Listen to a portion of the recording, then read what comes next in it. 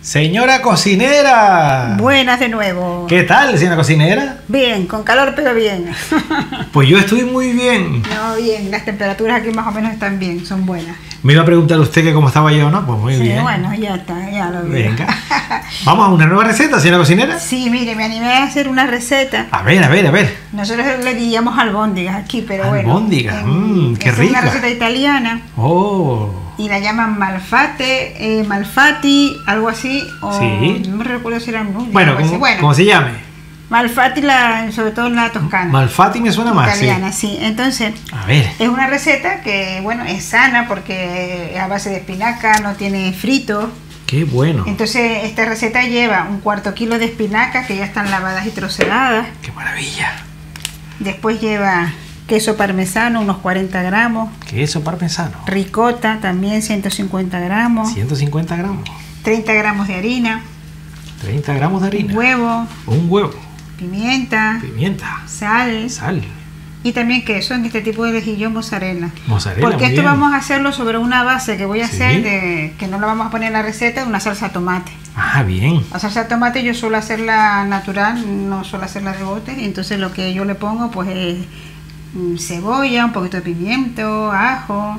Muy Nada, bien. se incorporan los tomates y después le pongo sal, una cucharada de azúcar para quitar lo que es la acidez. Muy bien. Y nada, se muele toda, se pasa por un puré y listo. Y esa va a ser la base de estas, digamos, mafalde o croquetas de espinaca. Muy bien. Aquí tenemos unos ajitos, ¿no? Yo tengo aquí, sí, el dientito de ajo. El que tengo aquí, que sencillamente, para que esto le dé sabor a, a este...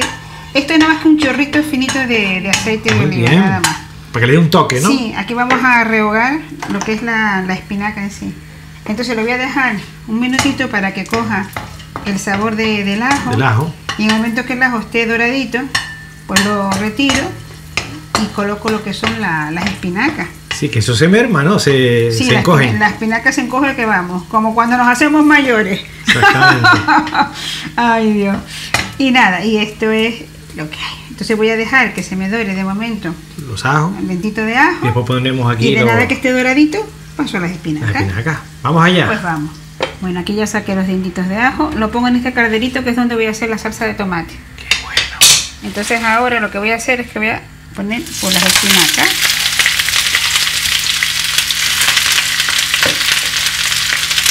Las espinacas las vamos a ir así cocinando, rehogándolas y prácticamente se nos van a quedar en nada. Sí, se merma, sí. Sí, merma bastante. Se merman. Entonces nada, las ponemos aquí.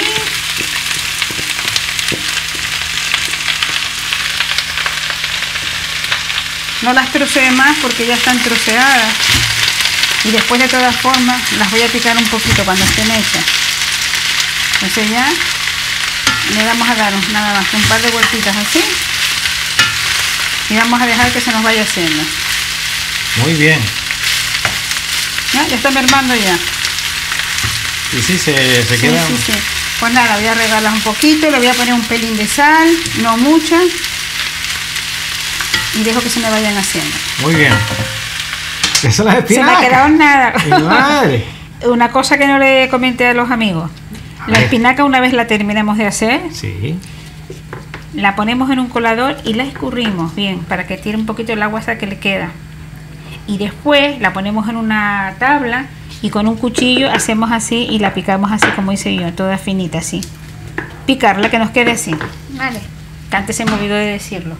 Entonces ahora vamos a poner pues, todo lo que tenemos por aquí. El queso, el parmesano, el queso ricota, la harina, el huevo que lo tengo por aquí, voy a cascarlo, lo voy a poner aquí mismo. Aquí lo tengo. Por si acaso. Por si las moscas, lo bato un poquito. Pues si el huevo está malo, echa a perder todo. Sí, a veces cometemos esa imprudencia, pero bueno, los huevos que estamos utilizando son huevos frescos. Le voy a poner un poquito, que no lo dije, de nuez moscada. Un poquito, nada más. Vale, para que dé ese saborcito de nuez moscada tan rico. Hace un poquito así. Y listo. Un poquito de pimienta molida.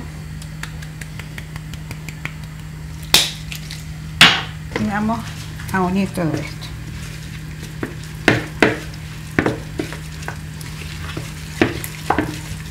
Hacemos así y vamos mezclando. Ya se huele el queso ya. Bueno. Hacemos así. La espinaca una vez terminemos de hacerlo, la escurrimos, la picamos, la dejamos que se temple un poquito. Esta mezcla la hacemos y la probamos de sal. Como el queso ya de por sí Es salado. es salado, sobre todo este, el, el tipo este parmesano. Pero no hay que pasarse con la Entonces no hay que sal. pasarse. Entonces vamos a hacer así. Y ahora esto lo dejamos reposar unos minutos. Que se nos unifique. Si vemos que nos ha quedado muy flojito, muy, digamos, mm, ¿cómo le diría usted? Eh, demasiado claro, pues le ponemos un pelín más de harina que no pasa nada. Para que quede más espeso. Sí, sí, pero así más o menos está bien, con las medidas que yo he dado está bien. Si va a ser, digamos, los comensales van a hacer mucho más, pues todas las medidas vamos a doblarlas. Lo duplicamos siempre. Claro, en vez de poner 250 espinacas, ponemos medio kilo. Sí, sí. Si necesito 30 gramos, pongo 60. Entonces ahora dejo esto que se me repose un poquito para hacer ya mis bolitas. ¿Cómo se mermó todo, verdad, señora Sí, sí se merma, Wow. sí, sí, pues yo que, pero bueno, de aquí van a ser unas cuantas buenas. ¡Regresamos! Bien, ya regresamos. Bueno, amigos, me estoy enharinando un poco los guantes. Aquí tengo ya la masa hecha. Cojo una cuchara, así más o menos esta. Hacemos así. Le ponemos un poquito de harina y, y hacemos así. Y hacemos unas bolitas. Listo. Ya tengo una aquí, la hice de, digamos, de prueba para saber si estaba más o menos más o menos bien la masa para poderla hacer las bolitas. No sé si lo acabo de repetir porque estoy tan así, pero em, tuve que ponerle un pelín más de harina de los 30 gramos que llevaba, ¿vale? Para Muy- que se me quedara así más o menos. Muy bien. Entonces voy haciendo así mis bolitas. Las voy poniendo aquí para después incorporarlas con un poquito de harina para que no se me, se me peguen. Muy bien. Y vuelvo a ponerme harina en las manos. En las, con las manos normales pues sería mucho mejor. Hago así y después hago así.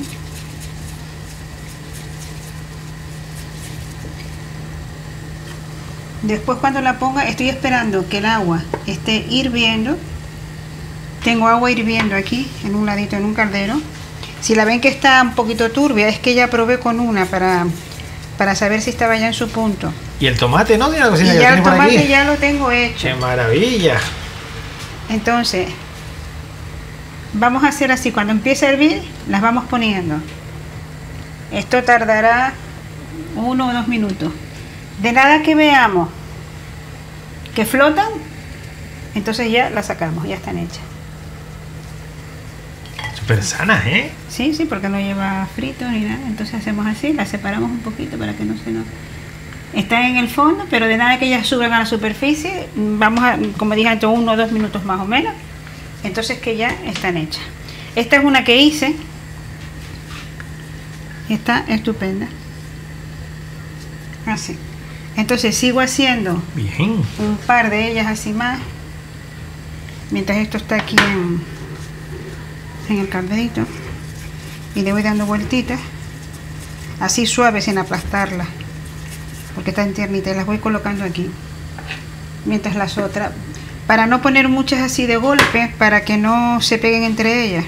Sí, porque se suelen... Sí, se pueden pegar. Apretamos un poquito así para que eso, se unifique toda la bolita. La ponemos aquí. Esta no la apreté mucho, entonces voy a apretarla ahora. Hago así y listo.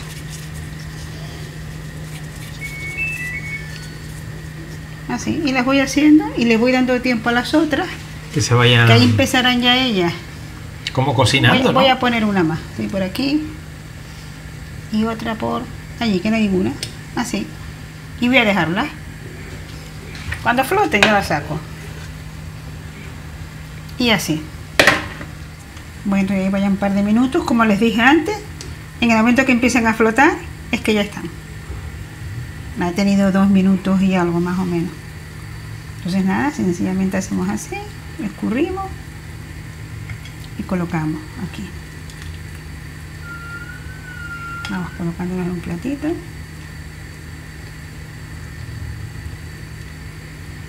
Probé la masa y está deliciosa, deliciosa amigos. Qué rico, los sabores a queso.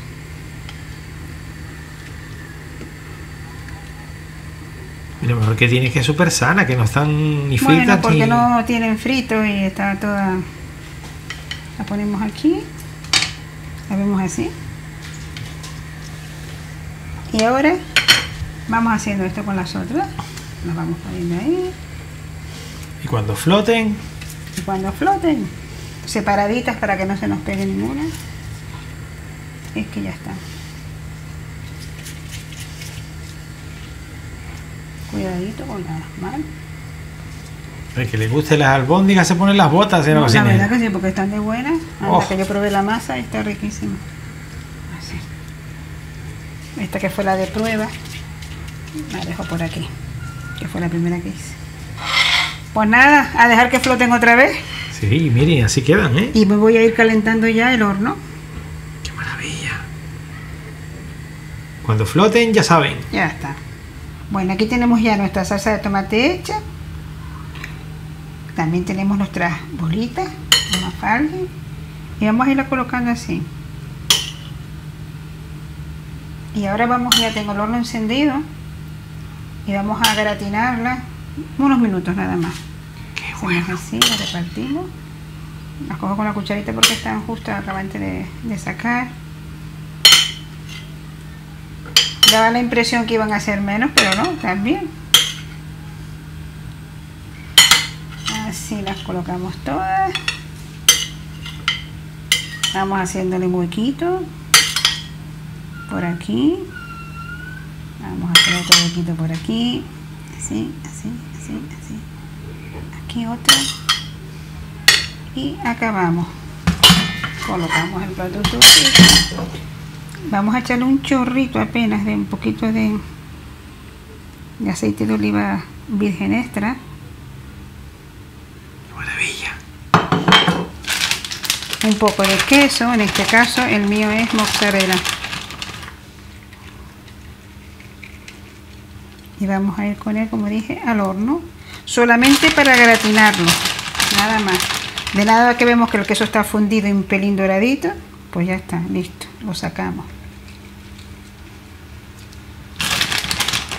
El queso es, de acuerdo a lo que cada uno nos guste, ya con esto es más que suficiente. Pues nada, vamos al Vamos horno al horno. Señora cocinera. Aquí estoy adornando mi plato ¡Ah, qué con unas hojitas de albahaca. La verdad que este plato es todo un espectáculo.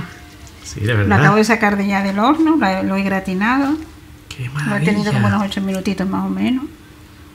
Aquí está el resultado. Vamos a coger de aquí. A picar de aquí y hacer así. Se hace la boca agua, ¿eh? Dios mío, qué bonito está el plato este. Y ahora lo...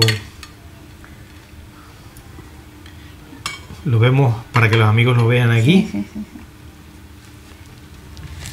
Vamos allá. Vamos a separar un poquito esto. Claro que sí, Cuidadito porque esto está caliente. claro que sí. Entonces vamos a organizar. A ver, si se puede. Puedo perfectamente ponerlo aquí en un ladito. Aquí tenemos el plato. Y vamos a Yo le he probarlo, puesto, como antes, unas hojitas de albahaca, porque a mí la albahaca es que me encanta la albahaca. Vamos a probarlo, señora cocinera. A ver, venga. Dele ahí. Seguro, lo malo es que si lo prueba y No le pasa gusta. nada. Ay, señora No, no, me va a dejar sin nada. Miren, miren, miren. Oh, por favor, qué maravilla. Qué bueno, ¿eh?